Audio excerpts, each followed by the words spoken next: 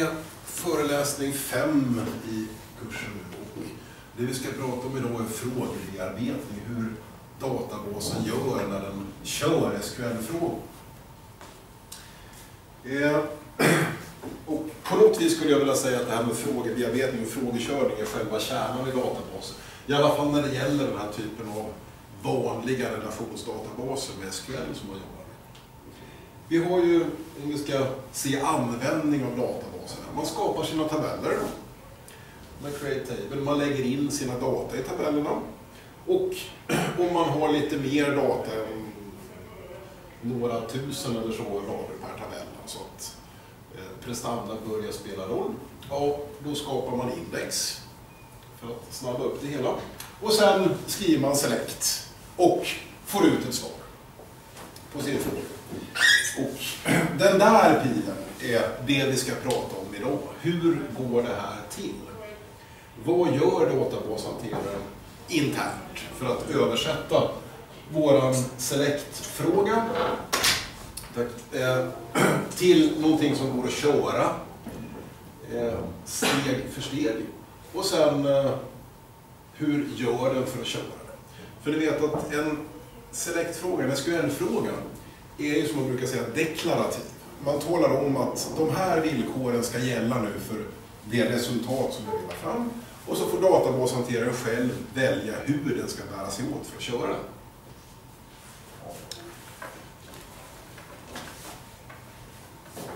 Eh, om vi börjar titta då på inmatning, det är ju text. Man skriver select, bla bla bla. Och sen, de som har gått eh, kompilatorkursen känner igen det här med skanner och parser och sådana saker. Att eh, först tar man och skickar det här till skannern som delar upp i tokens som är ungefär ord och symboler. Sen har vi en parser som jämför med grammatiken för SQL-satser, att till exempel det ska stå select först eller någonting annat. Och vi har också från kompilatorerna så vet vi att det finns en semantisk fas eller semantisk analys som har med betydelsen och datatyper att göra. Och i databassammanhang, vad gör man då i den semantiska analysen? Jo, eh, en sak som man gör är att man slår upp i schemat. Eh, schemat för databasen, vilka tabeller och kolumner som finns, finns ju lagrat. Så att då slår man upp att de tabeller man refererar till i frågan, att de faktiskt finns. Att kolumnerna faktiskt finns. Att eh, om man jämför två kolumner, att mm, det verkligen är kolumner av datatyper som går att jämföra. Så att inte man jämför en sträng med ett tal och så vidare. Eh, och ut ur det där så får man, som man brukar göra i kompilatorsammanhang, ett träd. Ett parsträd. Det är ju bara egentligen ett annat sätt att representera samma SQL-fråga som man skrev in med select. Så jag skriver samma struktur som SQL som man just har skrivit in.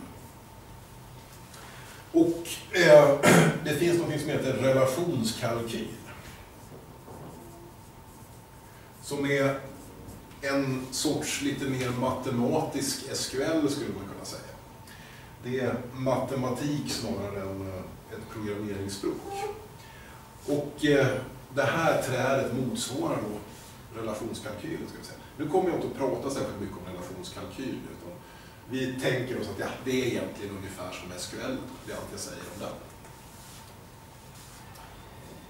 Eh, och som jag sa då, SQL är deklarativ. Man talar om vad man vill ha för svar, inte hur det ska räknas ut. Och relationskalkylen, ja, den är också deklarativ. Sen så ska vi översätta till någonting som är mer procedurellt, alltså steg för steg art. Så att vi skickar det här trädet till en algebragenerator.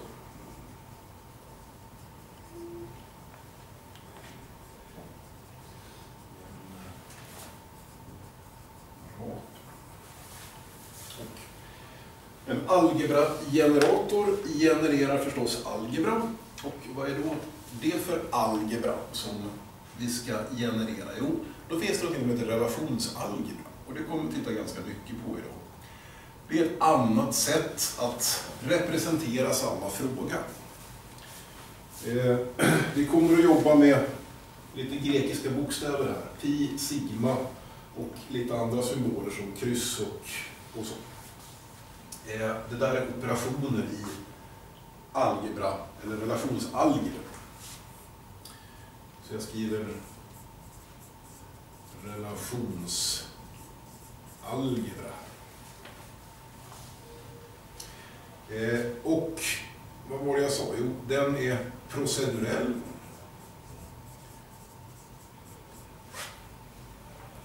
Den uttrycker steg för steg vad databashanteraren faktiskt ska göra för någonting. Och den är inte alls SQL längre. Relationskalkylen var ju ungefär SQL fast mer matematisk. Mer relationsalgebra med något helt annat och det kommer vi titta på. Eh, sen, igen då de som har gått kompilatorkursen kommer ihåg att det finns något som heter ett optimeringsstick. Och det har vi i databasen också.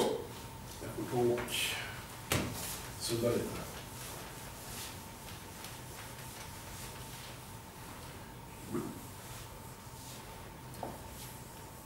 Vi har frågeoptimerare.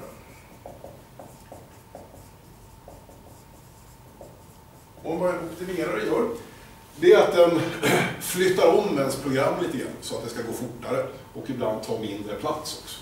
Så att om jag bara ändrar lite på ordningen här på, på de här symbolerna så ska det då vara ett optimerad databasfråga.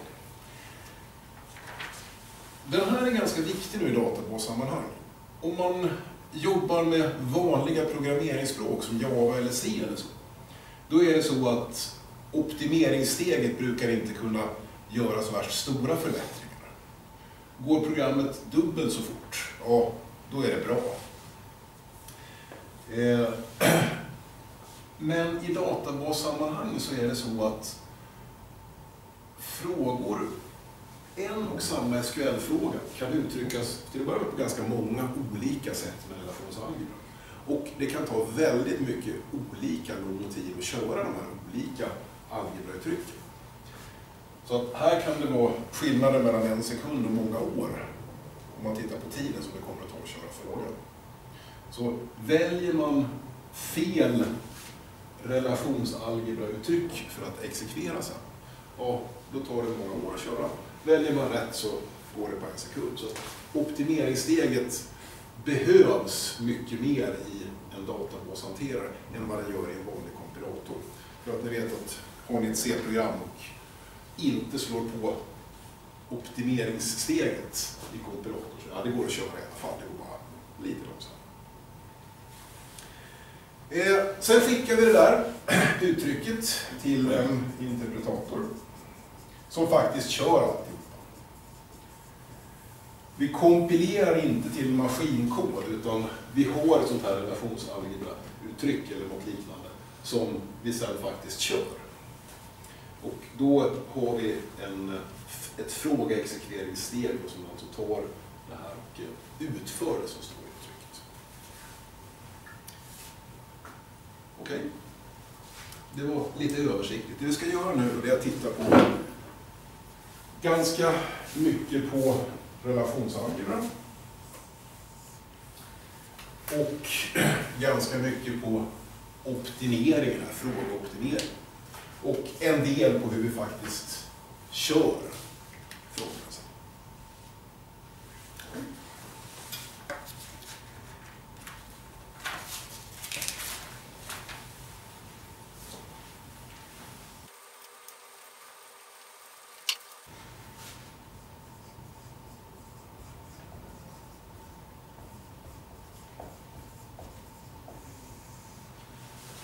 Ja, relationsalgebra. Eh, ni vet att vanliga algebra, eh, 2 gånger 5 plus a till exempel. Där räknar man ju med tal. Om det nu är heltal eller reella tal eller komplexa tal eller vad det är för någonting. Man kan ha variabler som står för ett tal. Och så har man uttryck som ska beräknas och ut ur uttrycket som resultat så får man ett annat tal. Och relationsalgebran funkar på samma sätt. Det är bara det att nu är det relationer, alltså tabeller i databasen som man räknar med. Och istället för operationer som gånger och plus så har man en del andra operationer. Och eh, om vi börjar med den första operationen så eh, finns det en som heter selektion. Alltså välja ut saker. Det man väljer ut med selektion är det rader i en tabell.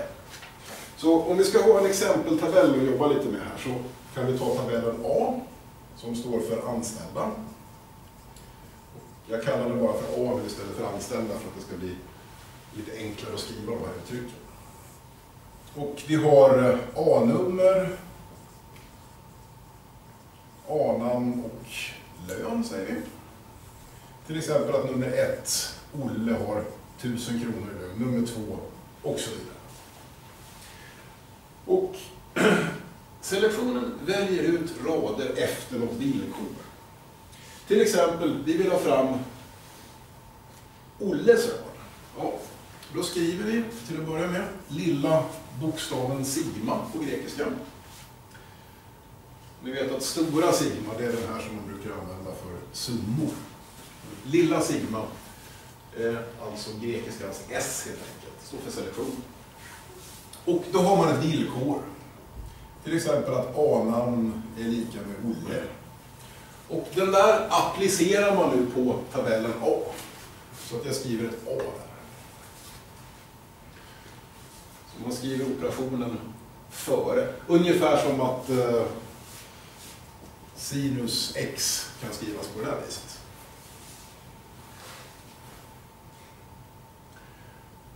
Och vi kan ha lite andra varianter. Vi kan till exempel ha alla med lön större än 1000 kronor. Vill ut på det här viset. Och man kan även kombinera ihop villkor så att alla som har lön större än 1000 och dessutom, jag skriver en här, eh, har ett anställningsnummer mindre än 3.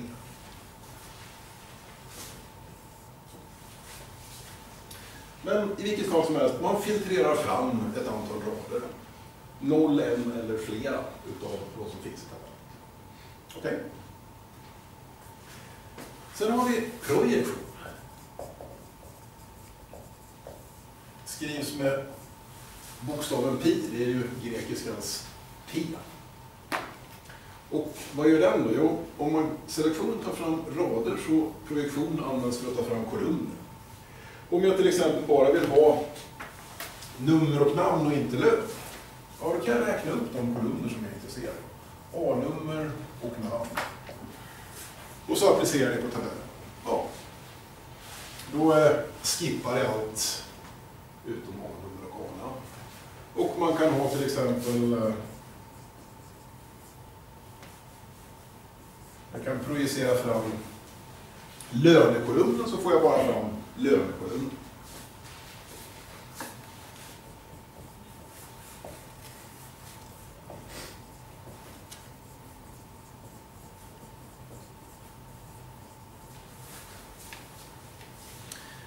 En sak som jag tänkte säga här nu.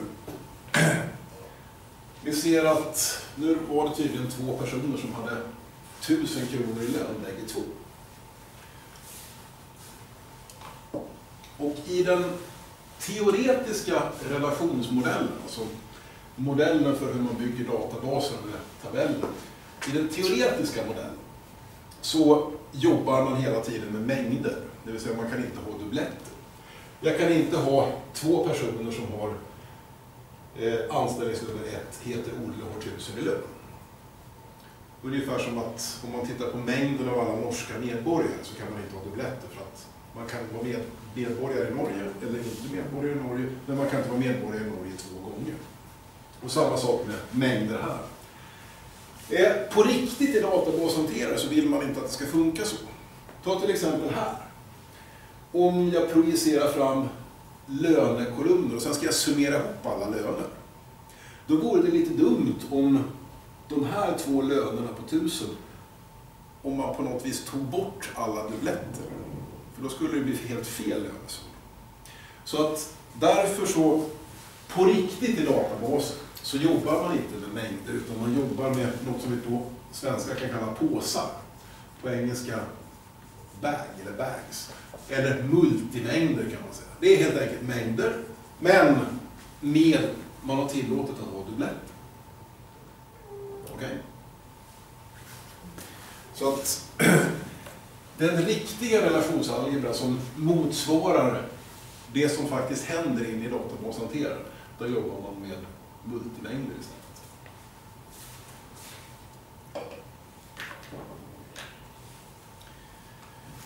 Nu kan vi börja kombinera ihop. Det finns fler relationsalgebra-operationer, men här har vi i alla fall två stycken som man kan jobba med. Och eh, eh, till exempel skulle man kunna göra så här. Jag vill ha fram nummer och namn på alla som tjänar mer än 1000 kronor. Ja, då måste vi uppenbarligen kombinera ihop selektion med lön större än 1000 och nummer och namn. Och då kan vi skriva relationsalgebrauttryck på det här viset. Ungefär som man kan skriva vanliga algebrauttryck. Vanliga Och eh, vad var det vi skulle göra? Jo, vi skulle ta fram selektion på lön större än 1000 på tabellen A. Och sen var vi bara intresserade av nummer och namn på de personer. Jag ser att jag skriver fel, det hette ju A-namn. Då får man göra projektion. A-nummer, A-namn. Och vill man kan man sätta dit lite parenteser här också.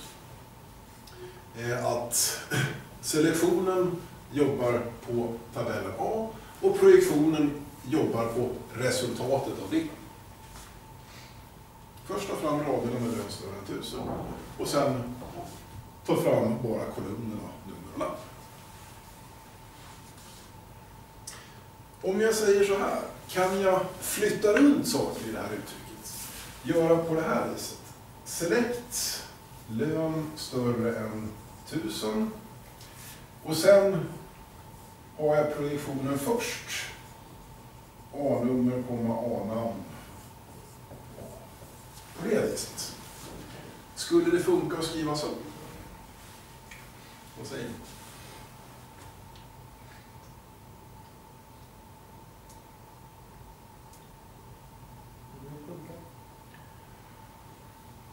Ja, för det är lite delresultaten man får. Du får först ut kolumnerna med nummer och namn. Ja. Så försöker hitta löner där, men det finns inga löner för vi har bara tagit nummer och namn. Ja, precis.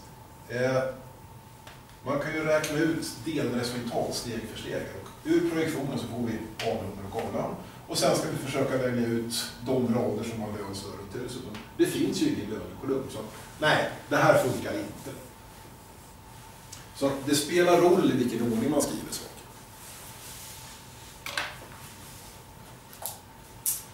Eh, jag ska säga en sak till. Jag sa att selektionsoperatorn här, eh, som skrivs med lilla sigma, heter på engelska select. Och projektionsoperatorn heter project. Nu, den här select, det är inte alls samma sak som den select som man har i SQL. Låt mig visa ett exempel på det.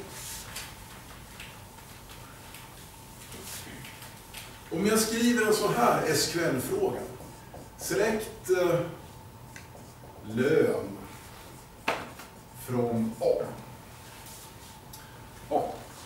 Om jag nu ska göra samma sak med relationsalgebra. Hur ser relationsalgebra-uttrycket som gör det här ut? Vi har det på tavlan.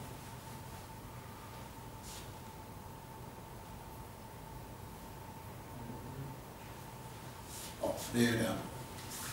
Projektion av lönekolumnen applicerat på tabellerna. Och ni ser att i SQL-frågan står det select för att I SQL så betyder ordet select egentligen bara att nu börjar en SQL-fråga. Men eh, det fanns ingen selektionsoperation som gjordes. Så att blanda inte ihop när det på engelska står select för den här operationen och även projekt för den här. Blanda inte ihop det med SQL. För SQL och relationsalgebra är två olika saker. Även om bägge då kan användas för att skriva sökningar i en databas med tabeller. Okay.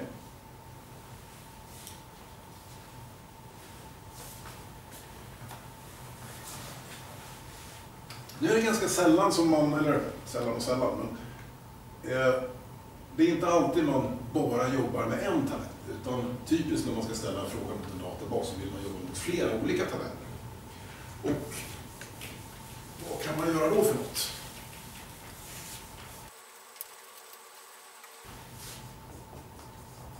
Flera tabeller. Ja, om jag vill på något vis bygga ihop flera tabeller till ett resultat som jag får ut. Eh, vad kan vi göra då i SQL? Ja, vi har ju, om vi kommer ihåg grundkursen så har vi ett par operationer. Vi har join, att man kopplar ihop rader i en tabell med rader i en annan tabell som hör ihop. Vi har även kartesisk produkt. Och vad är det då? Jo, det är så att säga en join utan villkor. Jag gör alla kombinationer som går att göra. Så en tabell med 100 rader och en tabell med 1000 rader. Och alla kombinationer som går att göra av rader från den första frågan, det blir 100 000 olika kombinationer. Och eh, när man skriver det här i SQL, så en join, ja, om jag skriver select eh, bla bla bla bla, eller till exempel stjärnan för att få alltihopa, från två tabeller som kan heta T1 och T2. ja, då måste jag ha ett where-villkor som talar om hur de ska kopplas ihop. Till exempel att kolumnen A i T1 ska vara lika med kolumnen B i T2. Och det är när jag glömmer den här, det här villkoret som kopplar ihop tabellerna, ja, det är då jag får en kartesisk produkt, för då får jag inte bara de där stämmer för, utan jag får alla kombinationer. Och ni kanske kommer ihåg också att som alternativ till det här så kan man skriva på andra sätt. Man kan skriva select stjärna från T1 join T2 om T1.a är lika med T2.b. Det vill säga, man kan ha explicita joinar i sina SQL-frågor. Man skriver join helt enkelt. Men den frågan och den frågan, det är samma sak, logiskt sett. De gör samma sak. Då ska vi titta på relationsalgebra för det. Och kartesisk produkt, det är det här krysset som jag hade med förut. Och join, som ni kanske också kommer ihåg från grundkursen, det är den här fjärilsymbolen. Jag har så att säga satt dit ett par streck på sidorna på krysset. Och man måste ha ett villkor då för att tala om vad är det för join-villkor som vi använder.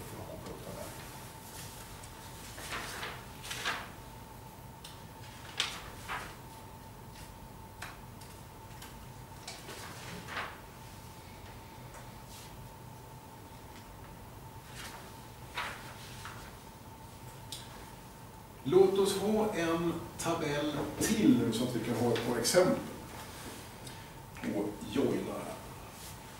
Eh, vi har de anställda, de får vara kvar. Och så gör vi en tabell med kontor också.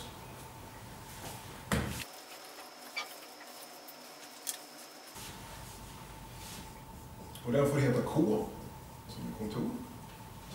Och den har, säger vi, tre kolumner. Eh, K-nummer, kontorsnummer.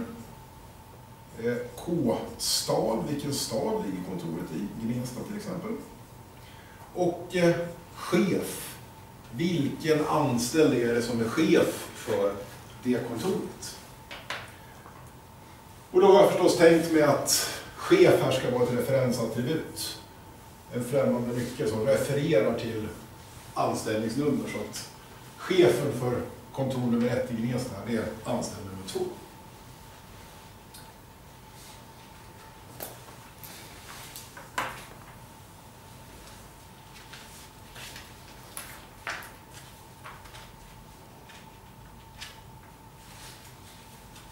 När jag nu ska göra en jobb, ja, som sagt, vi behöver ett villkor för att koppla ihop rader. Och det uppenbara villkoret här, det är ju just att chefen här, nummer två, ska kopplas ihop med anställd nummer två. Så att man ser vem, vem är nu den där som är chef för kontor nummer två, eller kontor nummer ett.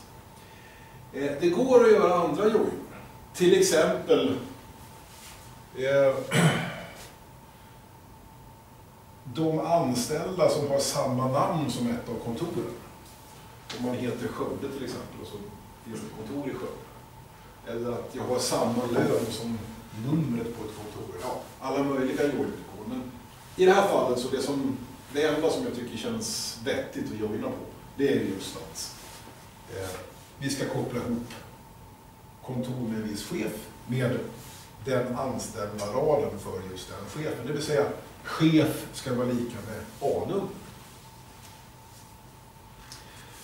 Och om man nu gör det där i SQL och vill ställa en fråga. Vad heter chefen för Gnesta-kontoret? Så. Ja, hur skriver vi det i SQL? Ja, vi börjar med select förstås. Vad är det vi vill ha ut som resultat? Jo, det är namnet. Då är det alltså A-namn som är den kolumn vi är intresserade av. Sen ska man tala om vilka tabeller det är man behöver titta i för att få fram svaret. Och det är ju tabellen A och tabellen K. Då skriver jag från A, K. Och sen behöver jag ett villkor för att koppla ihop dem. Where eh, Chef är lika med eh, A.A-nummer. Och nu har jag ansträngt mig här för att ha unika namn på alla attribut. Så att i det här fallet så kan vi skippa K. och A. För det finns bara en kolumn chef och en kolumn A. och sen behöver vi ett villkor till, nämligen vad då för något?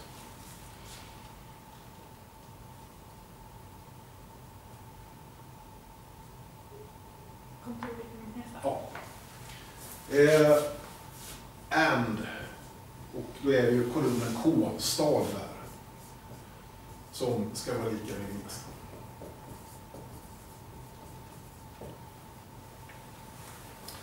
Ja, ska vi översätta det här nu till relationsargument. Då kan vi göra det på några olika sätt. här. Eh, vi kan börja med att göra join. Vi kopplar ihop varje kontor med den anställde som är chef för det kontoret. Om jag börjar med att någonstans på mitten här skriva eh, A joinad på villkoret chef är lika med A-nummer med K. Eller man kan vända på det. Ha K där och A där. Nu skrev jag A joinad med K för att få samma ordning som jag har där borta. Det, det spelar inte. Eh, sen när jag gjort det, ja, då var det ju bara Gnesta-kontoret jag var intresserad av, så jag gör en selektion här. Select K-stad är lika med Gnesta. Jag kan sätta dit lite parenteser så blir det tydligt här hur jag menar. Och till slut då, då har jag då fått fram en lång rad som består av Gnesta-kontoret och sen anställd nummer två. Och sen var det bara anställdes namn jag var intresserad av, så jag får skriva projekt A-namn här, så kan jag sätta parenteser runt argumentet som den jobbar. Så. Det vill säga, jag börjar med joinen. Sen när jag har räknat ut den och har ett mellanresultat så gör jag selektionen. Och när jag har den klar, då gör jag projektion på delresultatet från den.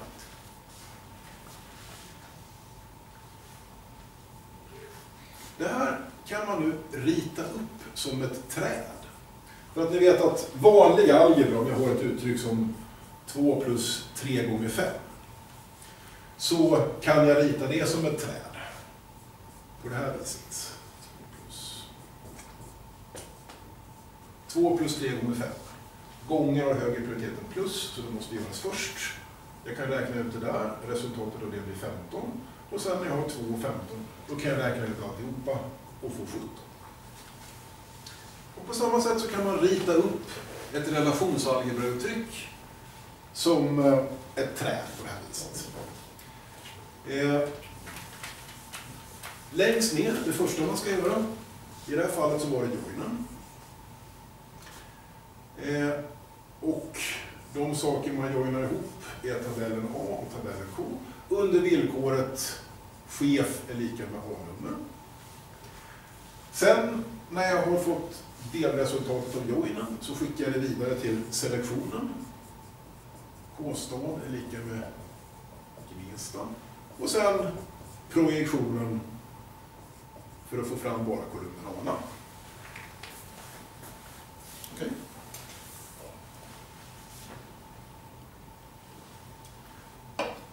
Och ungefär som att den vanliga algebran, allting blev ju tal. Så eh, det här blir en relation, alltså en tabell. Det här blir också en relation, alltså en tabell. Och slutresultatet förstås också en relation.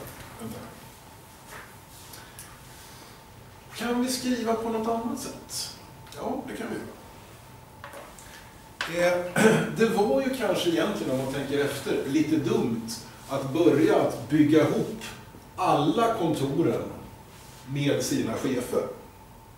Och sen, när vi har gjort det, då slänger vi bort alla de kombinationerna, utom just den för Gnesta-kontoret. Så att man skulle kanske kunna börja med att bara ta fram Gnesta-kontoret. Och sen bygga ihop Gnesta-kontoret med den som är chef för Gnesta-kontoret. Och det kan vi göra. Vi eh, börjar, om jag skriver här mot oss, med selektionen. K-stad är lika med Gnesta. Vi applicerar det villkoret på kontorstabellen, så här K. Och sen när jag har en mycket mindre tabell som delresultat, som bara innehåller Gnesta-kontoret, då joinar jag ihop med A-tabellen. Så att jag skriver A joinar på villkoret chef är lika med A-nummer med det här. Och sen så är projektionen kvar. Den måste jag göra sist.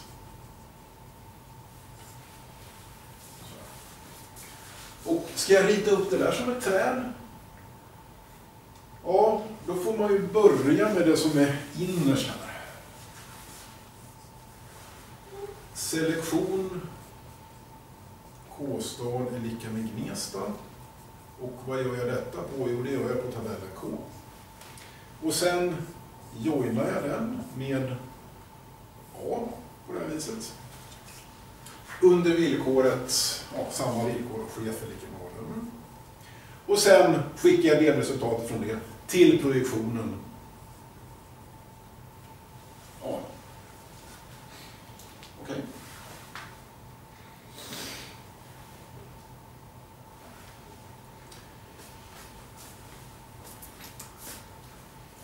Man kan faktiskt göra på ytterligare minst ett sätt.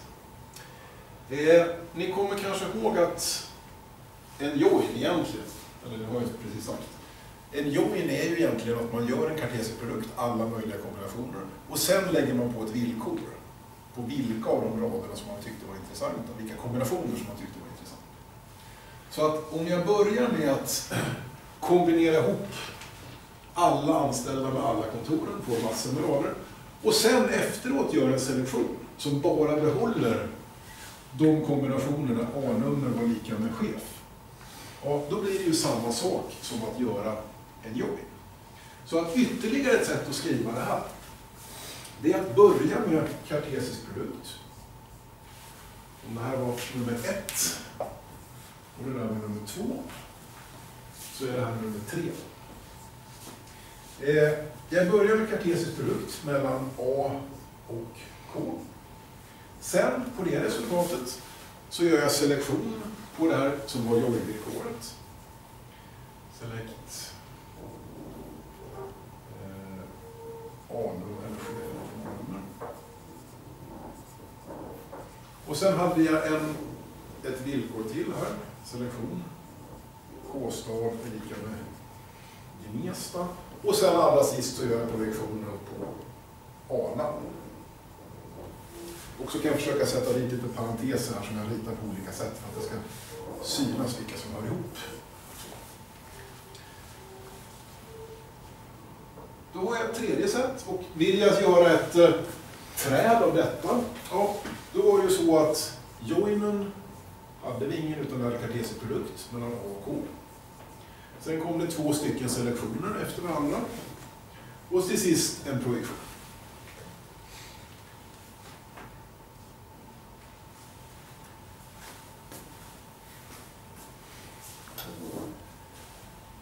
Om man säger så här.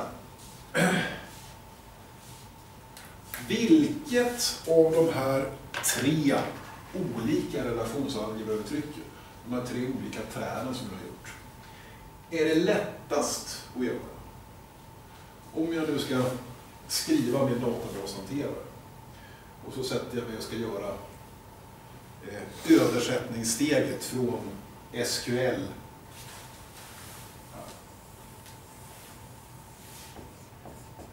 till relationshandlingar. Vilket är lättast?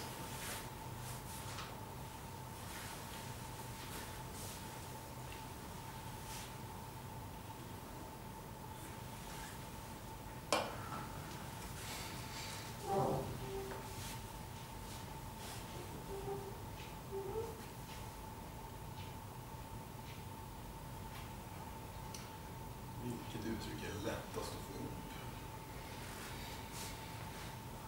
Och så har ett förslag här så att vi kan utgå från något i diskussionen. Kanske för att man är mer- van vid det vanliga. Man tycker att det ser mer eh, tydligt Man tycker joinen ser naturligast ut här. Ja. Ja, för, för oss som människor så är det ju på något vis naturligt att vi kopplar ihop de saker som faktiskt hör ihop. Men kom ihåg det här nu att joinvillkoret kan egentligen vara vad som helst. Eh, att man har samma namn som ett visst kontor till exempel.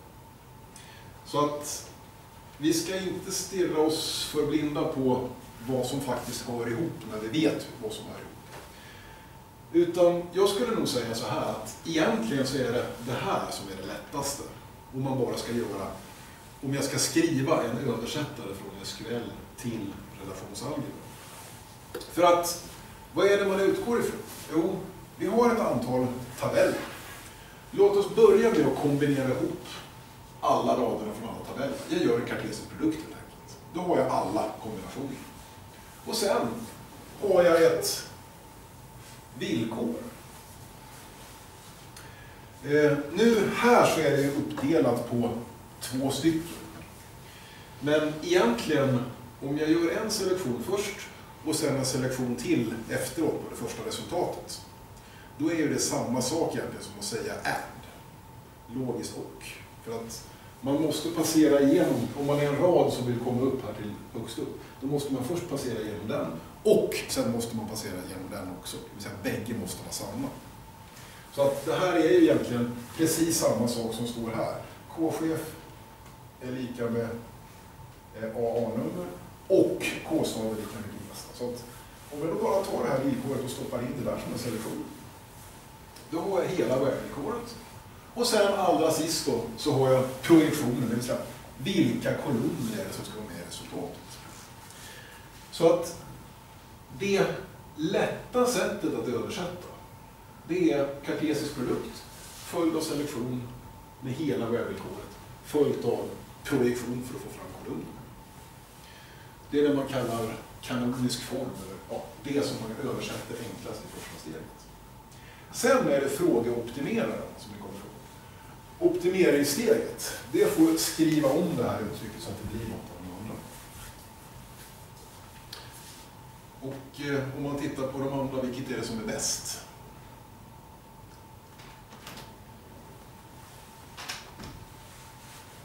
Tvåan känns det lite som.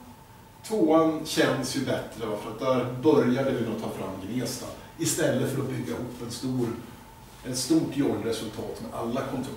Och det får jag väl hålla med i. Eh, varför är det bäst? Vad är det som är bäst med det? Jag kan inte plocka fram så många olika. Liksom. Ja. Eller annorlunda uttryckt, det kommer gå fortare att köra för man behöver inte jobba så- med så mycket data. Och det stämmer att Eh, det vi vill göra när vi optimerar det är ju att få, få frågan på ett sådant sätt att man får svar snabbt från databasen. Så att man brukar tala om kostnaden för att köra en fråga och för det mesta så menar man helt enkelt tiden. Hur lång tid tar det att köra? Okay.